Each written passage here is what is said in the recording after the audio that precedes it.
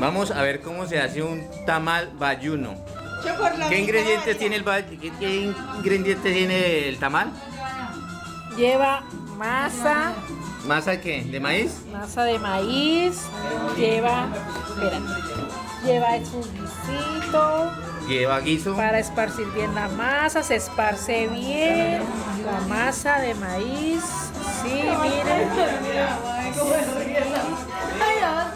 bien así,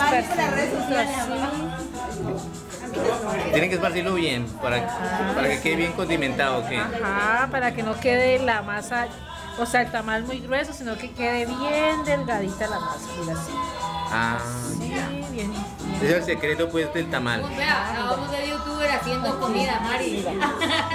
Y el, el secreto del tamal es el guiso, que quede el guiso bien rico y el pollo bien alineado de un día para otro, así lo hago yo, ¿no?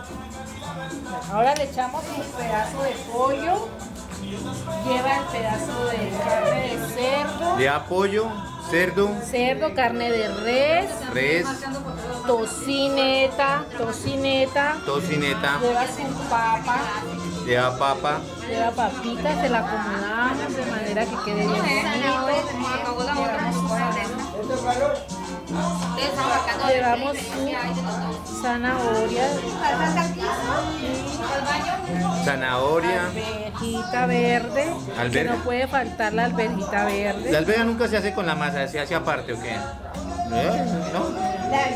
Guisito que lleva aquí adornadito un poquito de guiso también para que le agarre más sabor.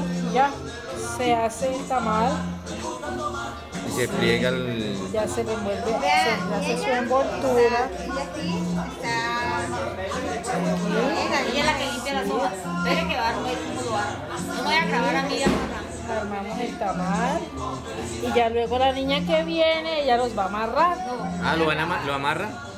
Digo que. Ay, no, Está bien arregladita. no está firmando la cara, ¿verdad? Ah, bueno, son las malas. Ahora sí, ya quedó el tamal aquí, bien gigante, y ahora se va a, a la a la zona de amarre, por favor. Tranquila. A la zona de Primero tenía amarre. que ver el primo de mi mamá, vea. Está brava.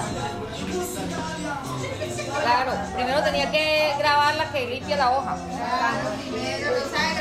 Así es, se hace un tamal bayuno. Y este lo marcamos. ser la familia criollo troches. Un criollo